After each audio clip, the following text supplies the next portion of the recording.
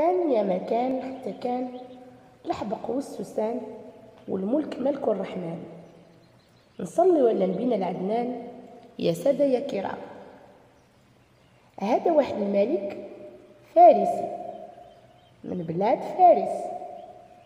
تيعيش هاني في المملكة ديالو. وحس باللي دايرين به وزراء ومستشارين سامعين طايعين. والشعب عايش على ما يرام بالثمن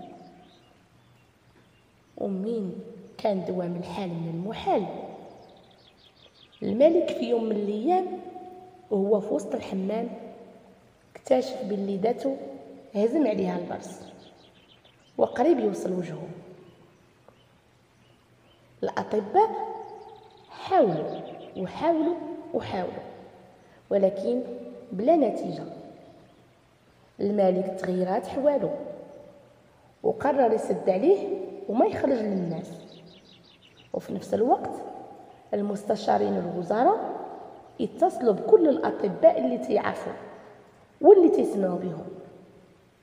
وكل واحد تيجي تيدير شي محاولة.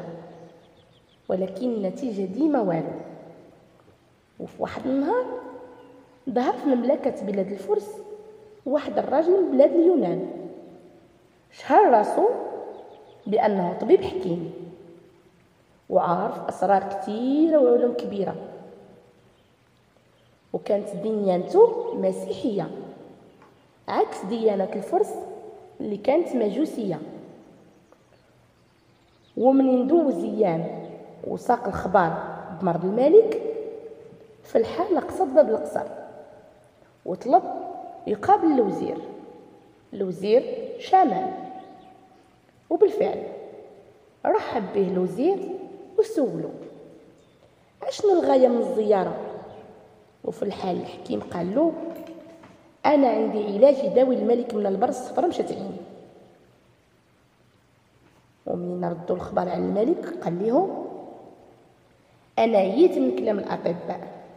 قولوا لهذا الحكيم الا دواني بصح غادي نهديه اللي ما تيحلمش بيه ويكون طبيبي خاص وإلا فشل غير يعول على راسو يطير ويكون عبرة ليه وعبرة للغير. الحكيم سمع الكلام وقبل وزعم وقبل اللي سمع بلا ما يندم. وفي الحال طلب من الملك يحيد الباسو باش يعالج باسو. وكانت طريقة العلاج غريبة ما فيها لا دهنة ولا عشور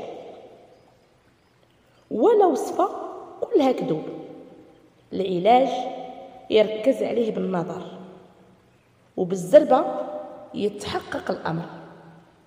ومن بعد دقائق معدودة صبحت الحكمة مشهودة. البرسطار والملك أدهش وجار. وهو تيتمتع بذاته في المرايا. وقال ليه؟ يا حكيم من هذه اللحظة بلاصتك معايا وحدايا. وفي الحين أمر ليه بأغلى الهدايا ورجع صديق ونيس. ساعة شكون يخليه؟ إبليس. ما يمكنش يخليه يتمتع باللي جاه. حيت الوزير شامام حسدو وبغضو. وعمل كل ما في جهدو باش يمحي آثار الحكيم. وهذه هي حالة كل مكر الإيم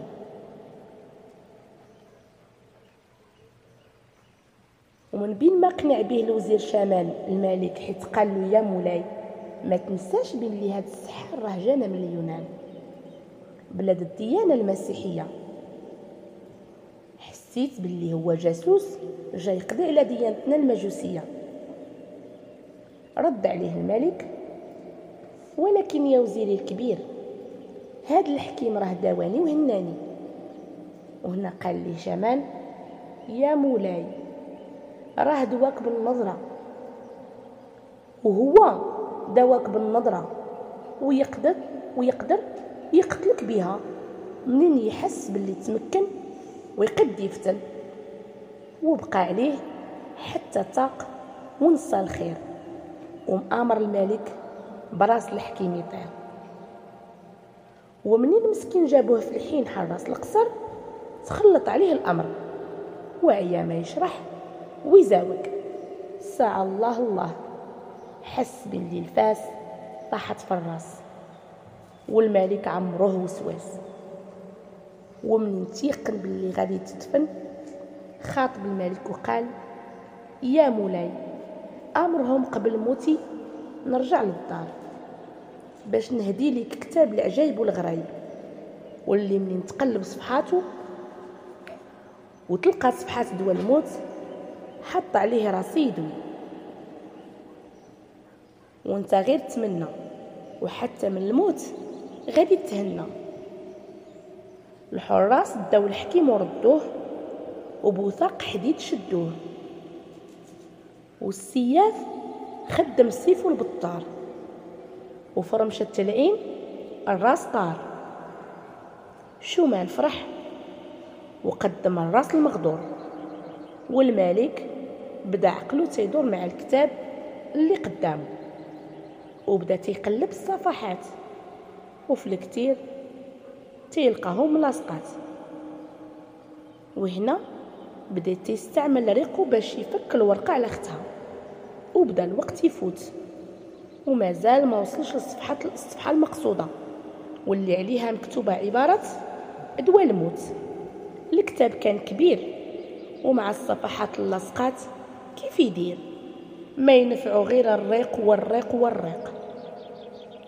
وفجأة قبطو حريق. وما يقول أح حتى تقطع طرف. كل شي صاح. أناري هذا السم الهاري. وهكذا الملك سمع لوزيرو وخدا جزاء الغضب. واللي زاد حير في الأمر. الصفحة اللي وصلها الملك كان مكتوب عليها هذا خلاص الغدر وباش درتي أيدي غادي تودي. وهكذا حكايتنا مشات مع الواد الواد. وراكم فهمتوني؟ يا الناس الجواد.